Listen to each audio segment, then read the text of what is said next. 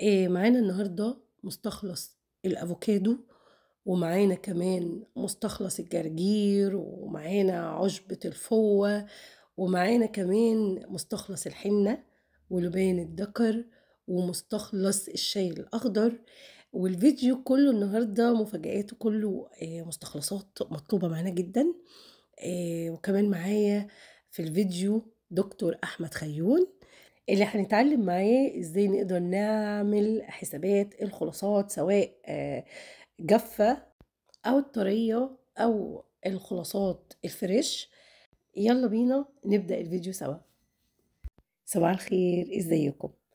النهارده هنتعلم مع بعض أُسس تصنيع المستخلصات، وإزاي نقدر نحسب الكمية اللازمة لعمل الخلاصات، والخلاصات لا غنى عنها في عالم التجميل لإنها تعزّز وتزيد من فوائد المنتج، والخلاصات بتعريفها البسيط هي المادة المركزة المستخلصة من العُشبة أو النبتة أو الفاكهة أو الخضار المُراد استخدامها، وفي الحقيقة الفيديو بتاع النهارده متميز جدًا لإنه مشترك فيه معايا الأخ والزميل دكتور أحمد خيّون، وطبعًا دكتور أحمد خيّون من الأساتذة المميزين بمجال الكوزماتيك، وناس كتيرة موجودة هنا معايا في القناة عارفينه، وكمان عملوا عنده كورسات وطلعوا أساتذة بهذا المجال.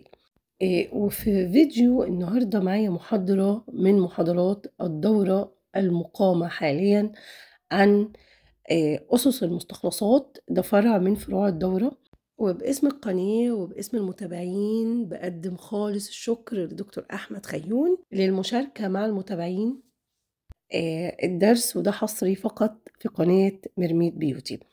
آآ زي ما أنتم شايفين دي ده رقم آآ دكتور أحمد، واللي حابب يتواصل معاه هاسيب لكم الرقم الواتساب في صندوق الوصف، وكمان link ال profile، ودلوقتي هنبدأ مع بعض الفيديو. أنا معايا هنا آآ شاي أخضر، ودي حنة، ومعايا أيضًا لبان الدكر، ده لبان دكر أنا أخدته طحنته، وأخدته علشان هنشتغل بيه وهو مطحون ناعم.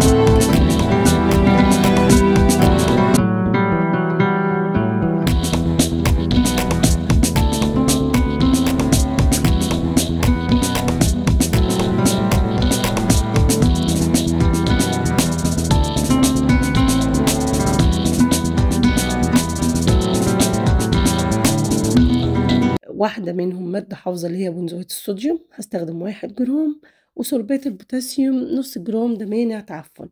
بس كده أنا باغطّي العُشبة وباسيبها في مكان دافي مظلم لمدة 21 يوم، وبعد ال21 يوم أصبح عندي أحلى خلاصة في الدنيا. وباقلّب العُشبة كويس جدًا وباصفّيها، وأنا بالنسبة لي الفيديو كده خلاص، خلاص، وهاسيبكم آآ في بقية الفيديو مع دكتور أحمد خيّون، وبالمناسبة أنا نسيت أقول لكم إن هو بيمنح أيضًا شهادات بعد نهاية الدورة. آآ سعدت بوجودكم معايا، وما تنسوش دعمكم للقناة بلايك واشتراك وتفعيل الجرس عشان يوصلكم كل جديد. وإلى فيديو آخر إن شاء الله وهسيبكم دلوقتي بقية الفيديو مع أستاذ أحمد. بس أتمنى آه إنك تنتبهوا لي شوية بلا زحمة عليكم. أول شيء عندي؟ آني. عندي محلول الاستخلاص محلول الاستخلاص بمتغيرات. بمتغيرات راح نعرفها. شلون أحسب نسبة الاستخلاص؟ إحنا نقول واحد إلى ثمانية. هذه عشبة طبعا تكون جافة طرية هنا عصارية هذا هنا محلول الاستخلاص. تمام؟ هذا محلول الاستخلاص. منين جايني؟ منين جايني؟ يعني آني هذا واحد غرام من العشبة. فأقول واحد في مية إيش راح يساوي لي؟ مية غرام. هذا راح يكون وزن العشبة اللي راح أستخلصه. وزن العشبة الاستخلاص. زين. هنا عندي ثمانية في مية ويساوي لي ثمانمية غرام اللي هو محلول الاستخلاص. إيش أقول؟ أقول ثمانمية ناقص مية راح يساوي لي سبعمية غرام محلول الاستخلاص. هذا انتهينا من عنده يعني إذا عندي نبات عرق السوس.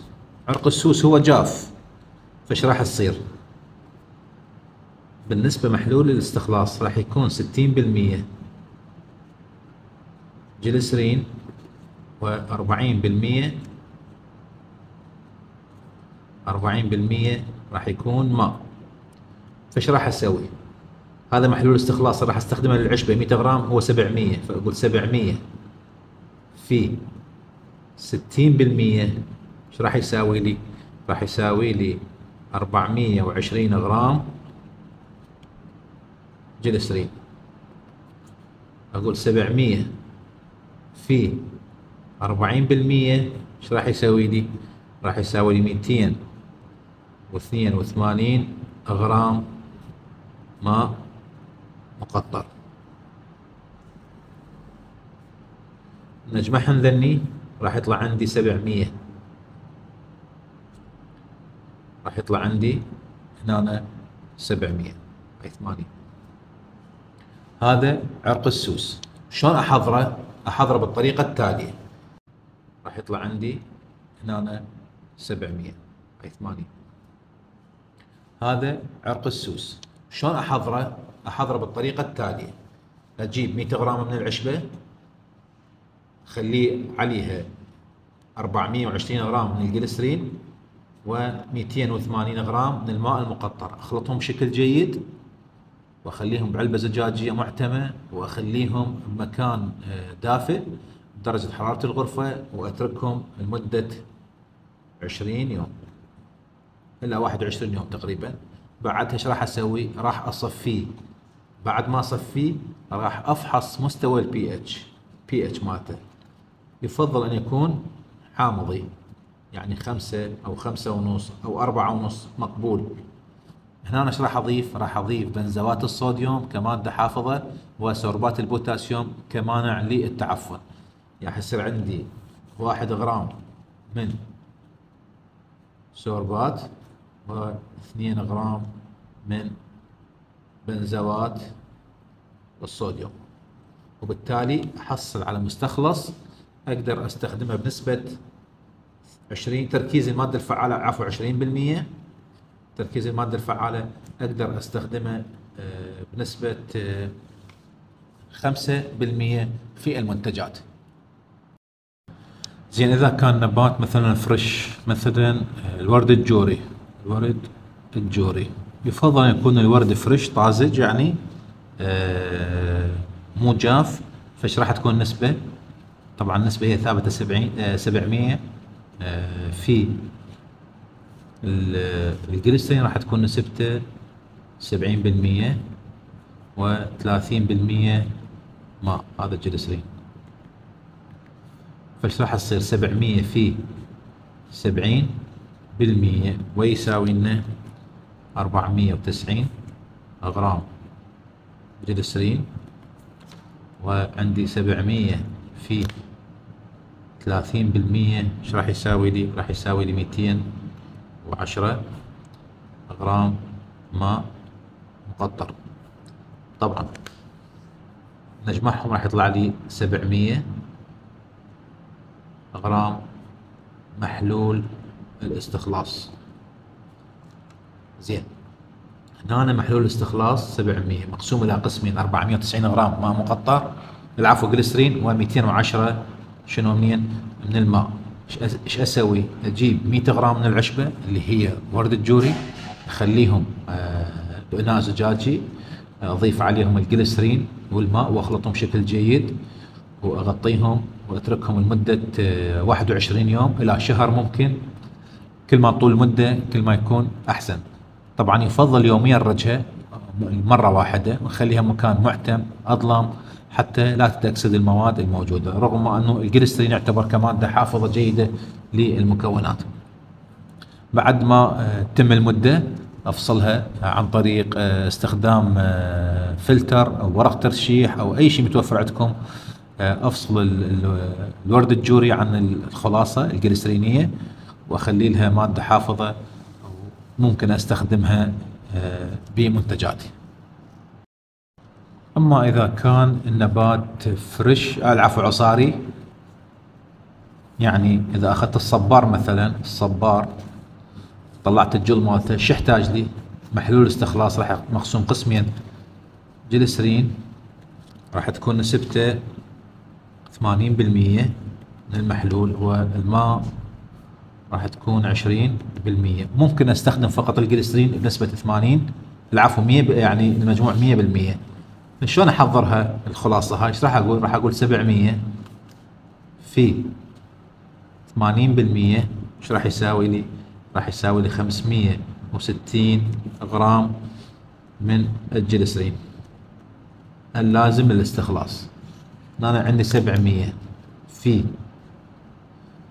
20% إيش راح يساوي لي؟ راح يساوي لي 140 غرام من الماء المقطر. من نجمعهم راح يكون صفر.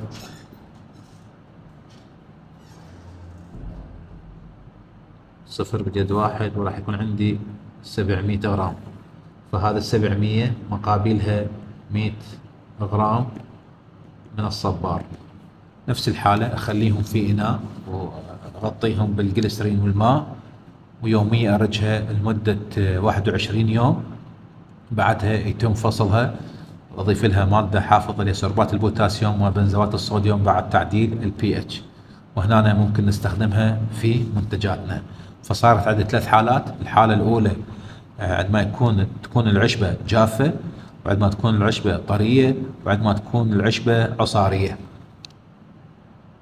راح أضيف 490 الجليسرين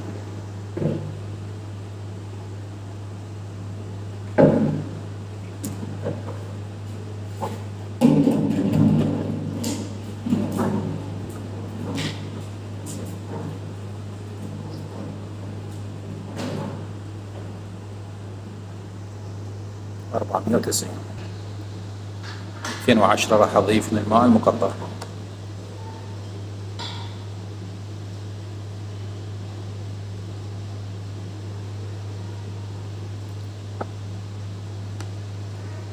بعد مرور تقريبا عشرين يوم للأفوكادو. الآن راح يتم تصفيته وإضافته.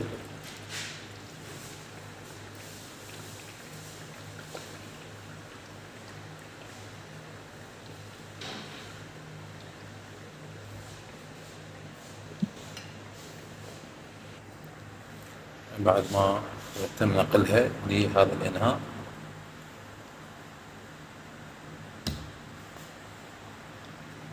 هاي الخلاصة للأفوكادو اليوم راح أسوي خلاصة الفوة بالجليسرين أنا عندي خمسين جرام من عشبة الفوة إلها فوائد جيدة للبشرة وأيضا خصوصا تحت العين. راح آخذ خمسين جرام من عندها. هاي المادة جافة.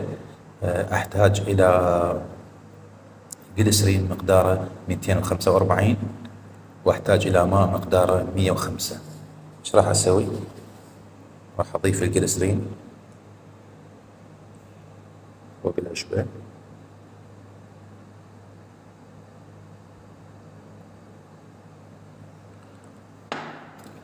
وأيضا راح أضيف الماء المقطر.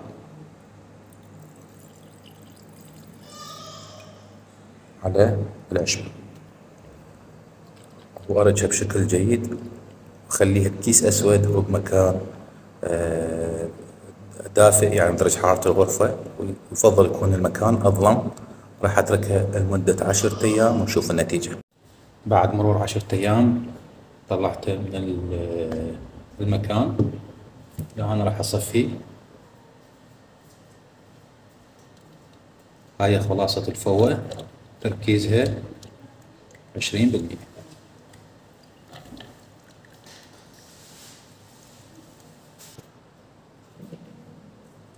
مثل ما تشوفون قدامكم. هذه الخلاصة بالماء والجليسرين لنبات الفوة تركيزها عشرين بالمية.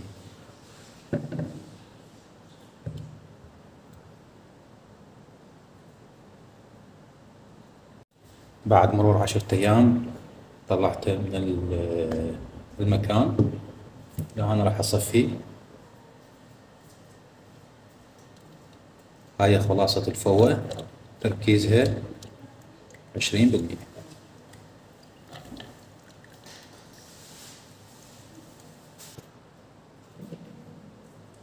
مثل ما تشوفون قدامكم.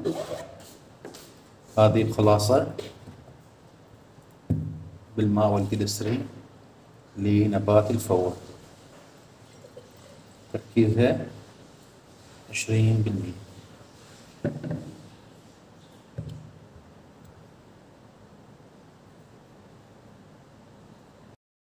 إذا تلاحظون بهذا الفيديو إنه أنا اخذت أوراق نبات الجرجير. طبعا هي آه تكون طرية fresh يعني العفو fresh مو طرية. آه أخذتها واستخدمتها بالاستخلاص. أخذت معتها 100 جرام. ضربتها بالخلاط حتى آه تنهرس بشكل جيد وضفت عليها المي والجليسرين طبعا آه، الجليسرين كانت نسبته 490 جرام والماء كانت نسبته 210 جرام خلطتهم بشكل جيد مع بعض وضفتهم على آه، الجرجير وخلطتهم وعبيتهم بالزجاجة وخليتهم لمدة آه، ما يقارب آه، شهر. وبعدين طلعتهم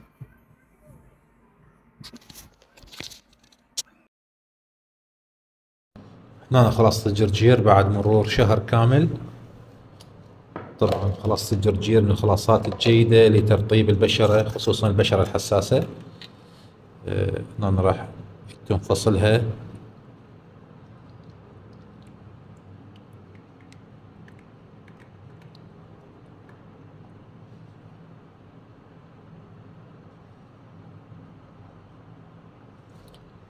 مثل ما تشوفون قدامكم.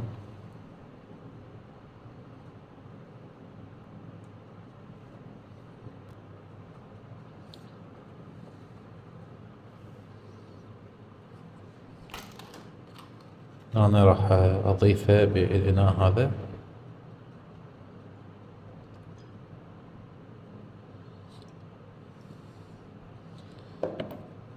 تم الحصول على خلاصة الجرجير مثل ما تشوفون قدامكم.